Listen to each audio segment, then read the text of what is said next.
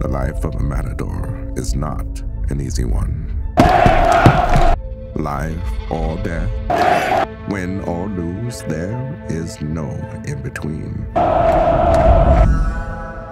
While the fall season may be over, the real work has just begun.